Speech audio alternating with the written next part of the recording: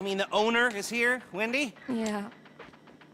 So, we're, uh, getting there, aren't we? Once we get the rest of the cabinets set up, you know, I have kill screened a shit ton of these babies, and by the time I'm done, I will do them all. Just wait till you see what we've done downstairs. We have been very busy. Hi! you remember Miss Cheng? Call me Georgina. And Huang? Yes, great. The place looks great. Good work. So- I'm terribly sorry, but we have to move along. John Pensy just ordered rosé. What? Uh, they can wait. Lester, you're going to say? Yes. We were brainstorming some ideas the other night and came up with a, a whole new approach. When Georgina said that security is a level above anything I've encountered before, she was right.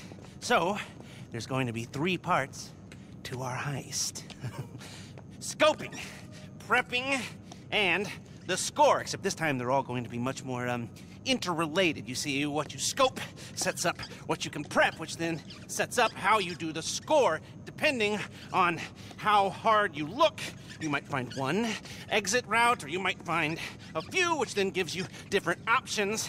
Ideally, if you scope it right, there will be three main ways to do the job. Number one, aggressive.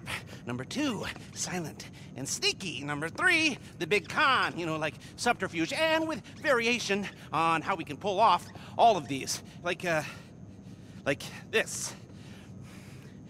Are you with me? Now tell them what we talked about, about the job. Ah, yes. Yes, I was, uh, just getting to that. um, you see, with security like this, we'll need to be more adaptive. If our approach isn't working, we gotta be ready to switch it up on the fly. Before, if you were caught being sneaky, we just called the whole thing off. But now, you're going to transition to the more aggressive approach, and you keep on pushing. It's amazing. If only we could keep on doing it. Rub it every week. I want this casino to be the anvil around Thornton Duggan's neck. Yes, but let's start by just doing it once.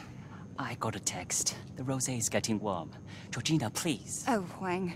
If you need me for anything, please don't hesitate to call. We'll stay in town until it's done. It's in good hands. I mean it. Anything, call me. Roger that. Roger that. Idiot. okay, well, take a look at the board. And when you're ready, you know what to do.